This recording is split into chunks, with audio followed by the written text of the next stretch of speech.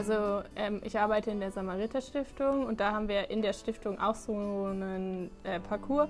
Und ich habe den da selber im Rahmen von einer Fortbildung schon mal mitgemacht gehabt und ich fand es total, dass es total viel Spaß gemacht hat einfach. Und man hat da richtig viel bei gelernt, fand ich auch, weil man dann gesehen hat, wie schwierig das eigentlich ist. Äh, viele haben mittlerweile auch mit äh, der Oma oder den Nachbar oder so mit jemandem zu tun, aber man versteht ja oft gar nicht, warum die jetzt, äh, keine Ahnung, irgendwie das Waschmittel in den Kühlschrank stellen oder so. Man wundert sich über total banale Sachen, was, wo man denkt, die müssten doch eigentlich wissen, wozu man Messer und Gabel benutzt. Das haben die doch ihr ganzes Leben lang schon gemacht.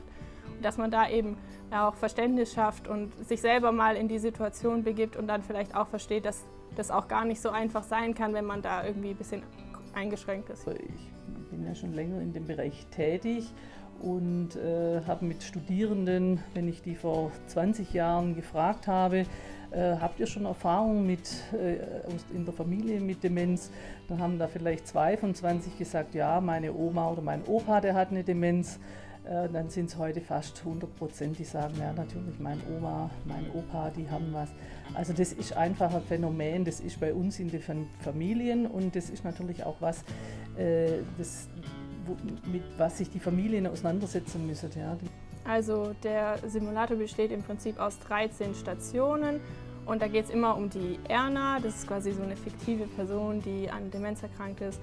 Und dann wird ihr Tag so ein bisschen nacherlebt, äh, also quasi von morgens, äh, wo sie sich dann anzieht, bis abends, wo sie Abend ist.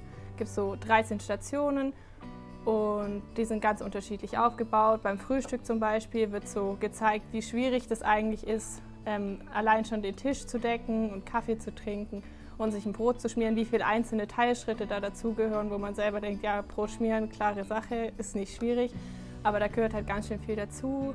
Ähm, genau, und dann wird halt immer so, je nach Situation wird halt irgendwas, äh, was äh, schwierig ist an der Demenz simuliert. Zum Beispiel, die können ja auch nicht mehr richtig schreiben und dann wird eben mit ganz vielen Spiegeln auch gearbeitet, dass es dann spiegelverkehrt ist und so für einen normalen Menschen, was eigentlich einfach wäre, dann eben schwieriger auch gestaltet wird. Es gibt eine äh, Station, die heißt Mittagessen. Da ähm, sind so Murmeln in einem Schälchen und äh, vier Becher und die ist auch mit so einem Spiegel gemacht und man muss dann quasi die Murmeln auf den Löffel tun und dann in den richtigen äh, Becher. Und äh, da fand ich das schon richtig schwierig, die Murmeln überhaupt auf den äh, Löffel zu bekommen. Also ging jetzt einigen auch so, das war mit die schwierigste äh, Station.